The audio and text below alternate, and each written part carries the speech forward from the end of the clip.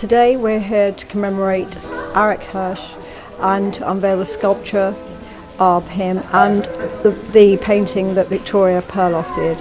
Over the last 22 years, he's been a volunteer at the UK National Holocaust Centre, where, as a Holocaust survivor, he's come to speak, share his story with school children, to travel uh, to Poland, to take trips, to be involved in training teachers. He's done wonderful volunteer work. The National Holocaust Centre was established by myself and my brother James uh, in 1995 in order very specifically to ensure that there was a place, a public place of remembrance of the Holocaust in the United Kingdom. A thousand of children come over, come to see it and to listen to survivors and so on. The way in which Arek has uh, come week after week uh, for years pouring out his story, pouring out his soul to share, not because it was a terrible period of history, but because, first of all, he personally wants the remembrance of his own family, which in itself is important, but he wants children to learn how to build a better uh, future. As a child, he lost over 80 members of his family, uh, was the sole survivor of his family, um, and yet went to go on to build you know, a wonderful life in South Yorkshire and contribute greatly to his community. And he's, he's a very, really inspiring individual. The sculpture is remarkable because I know Arek really well. And as I saw her working on the sculpture live, I thought, well, yeah, it's going to be really difficult to capture what I've learned over 20 years in two hours. And yet somehow she's just gone deep into his soul. She's, she's so gifted. We're, we're honoured to have you know a sculpture um, by Frances. There's lines in his face that I think if he hadn't gone through what he went through, he wouldn't have. Um, his whole face tells his story and his history, and I think Frances has captured it perfectly. I'm very happy because I've caught um, a sort of a, a pain in him and a distant look in him. Anti-Semitism has been described as the longest hatred and it's been around for thousands of years and it isn't going anywhere anytime soon. It's deeply embedded in our culture, in our language, in our religion, in our politics.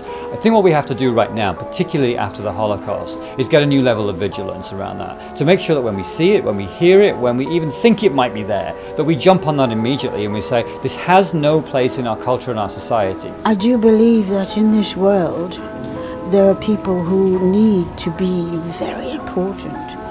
And because of that, hatred is born. It's born from power, false power, and people feel that they have the right to take what isn't theirs. I um, grew up with my dad, who was quite young. I mean, he's only 20 years older than me, but he never let me speak to German people and um, he was it was still after the war it was so sensitive. And I pushed all the pain away. I never wanted to know about it you know it was just such a terrible thing. And I couldn't read books and watch uh, films about it. And then when I was asked to do this and I met Arek and I realized it's got to be it's all got to be noted. What I love about Frances's work is that it's it's it's raw and it's soulful you know, she gets really into the heart of who the individual is that she uh, sculpts. She was receptive in her hands to his mood, and it came through, and I thought it was very beautiful. Being here today and him now being immortalised in a bust is unbelievable.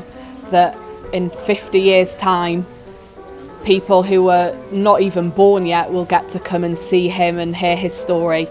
You know, without the survivors, this place is bricks and mortar. This place is photographs, it's artifacts. With the survivors, this has become about humanity, not about history. In my daily life at the Shoah Foundation, I'm interested in testimony and memory. This sculpture is also a form of testimony.